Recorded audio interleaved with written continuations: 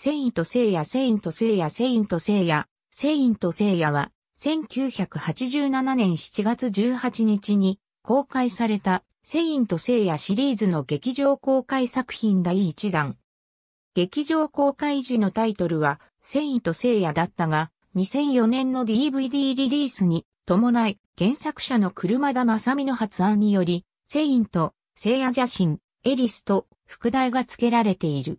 夏休みの東映漫画、祭りの一作として公開された作品。同時上映作は、ドラゴンボール魔人城の眠り姫、光戦隊、マスクマン、超人気メタルダー。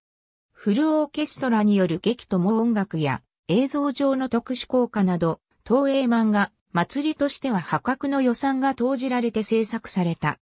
テレビアニメ版に多く携わっているベテラン勢のスタッフが制作に加わった上、ちょうどテレビアニメ放映がクライマックスに差し掛かる時期に公開されたこともあり、映画とテレビの相乗効果で、セインと聖夜の人気を嫌おうなしに加速させる作品となった。監督の森下構造によれば、作品世界に初めて触れる視聴者への配慮として、車田の原作に近いストレートな作風を目指し、主人公の聖夜を目立たせるために仇役を一人だけ引き立たせ、他の敵はやられ、役に徹させたという。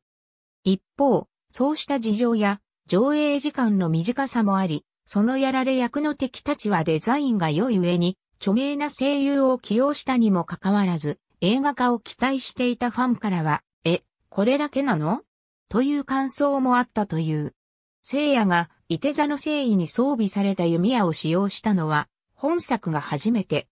この、聖夜たちが、敵のボスを前に、絶対絶命の危機に陥った時に、伊手座の聖位が出現。それをまとった聖夜が弓矢を構えるといった描写は、後の劇場版や原作の海港ポセイドン編でも用いられるようになった。2011年には本作品を原作とした舞台作品、スーパーミュージカルセイント聖夜が上演された。不吉な水星レパルスの導きにより、黄金のリンゴに封印されていた争いの女神エリスが地上に降臨した。エリスは聖夜の育った孤児院、星の子学園に勤める少女、相沢エリーの肉体に憑依し、アテナを捕らえ、その聖気を奪うことで完全復活することを目論む。アテナを救いに向かった聖夜たち聖堂セイントを待っていたのは、エリスの魔力で死の世界から蘇った亡霊セイントたちだった。